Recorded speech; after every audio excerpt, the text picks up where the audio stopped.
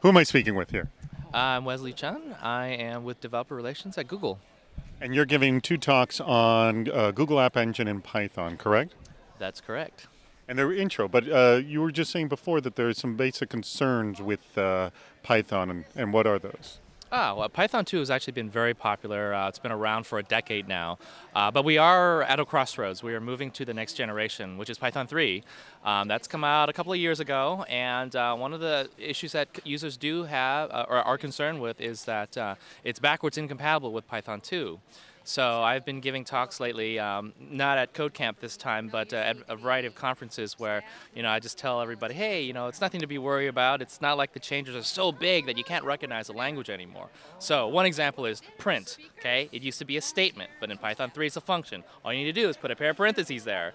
But that's enough to break it, you know, break your uh, existing code. So, uh, so some people are concerned about that, but there are tools and migration techniques that we have that uh, kind of mitigate what some of those uh, problems may be. So for example, example, there's a tool that uh, you can uh, get with Python when you download it called 2 to 3, and that will take a Python 2 source code and it'll convert it to uh, equivalent one in Python 3. So, you know, little things like that uh, are helping out with the migration. So right now we're just waiting for like everybody to kind of like move their apps over and uh, all the frameworks moved over, all the networking uh, stuff and the database adapters. Once all of the lower level stuff has been migrated to Python 3, then we're going to find that Python 3 is really going to pick up in the marketplace. All right, excellent. Now you were complaining about something about Google App Engine, correct? What was it? Uh, yeah, so one of the kind of. By the way, identify yourself. Yeah, my name is Kevin Nilson, uh, here in Silicon Valley. Run the Java user group, the JavaScript meetup, and the Google user group. And uh, one of the kind of issues that I have with uh, App Engine is it doesn't allow you to use uh, naked domains, uh, such as mydomain.com. Instead, you have to use www.mydomain.com.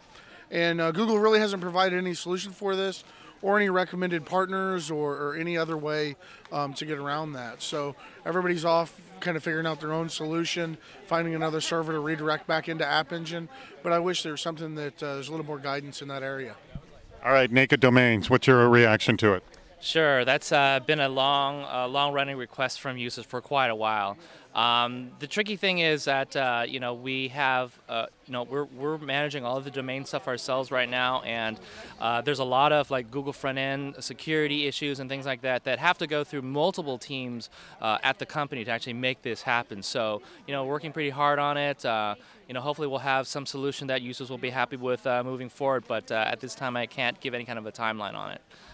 All right, so you recognize the problem and you're working on it, right? Exactly. Uh, right. So far, we've actually been very happy with the adoption of Google App Engine as a uh, platform as a service uh, cloud solution to host your apps with. Uh, it's a really great service because traditionally, if you have an exciting app in your head that you want to build and host, you have to, you know, think about a LAMP stack. You have to think, okay, what ver version of Linux do I need to run? Debian, Ubuntu, which version? And then you have to go get an Apache server. You have to set up MySQL.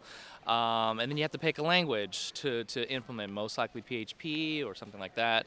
So it's, it's, a, it's a problem where, because these things are orthogonal completely to the app that you're trying to write, your idea plus all of this infrastructure stuff don't really have any kind of relationship to each other. So the solution that App Engine is trying to give you is you just worry about the app, you upload it to Google and we run it for you. And we scale it on the same systems that run the entire company.